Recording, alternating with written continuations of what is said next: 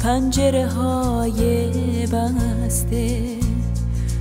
یه قفص مونده با یک دل خسته. کاش می‌شد پنجره ها باز می‌شدن.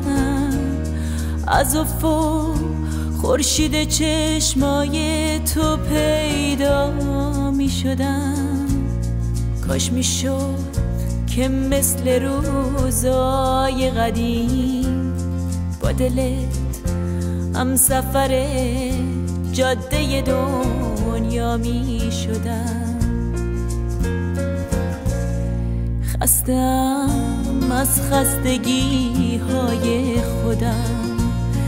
خستم از دل تنهای خودم. کاشکی عمر قصه ما کم نبود. آخر عشق من و تو گریه و ماتم نبود.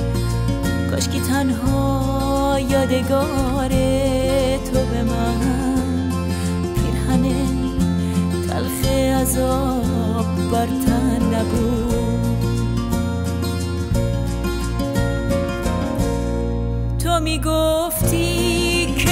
من و تو خسته ایم. توی این جاده پر پیچ هوس من و تو مسافر در به دریم. بیا بشکنیم تا نشکسته نفس.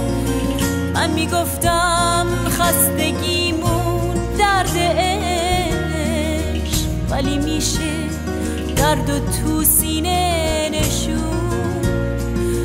بزا بشکنه غرورمون ولی غم تنهایی رو از ریشه سزون کاش می‌دونستی هنوز دوست دارم.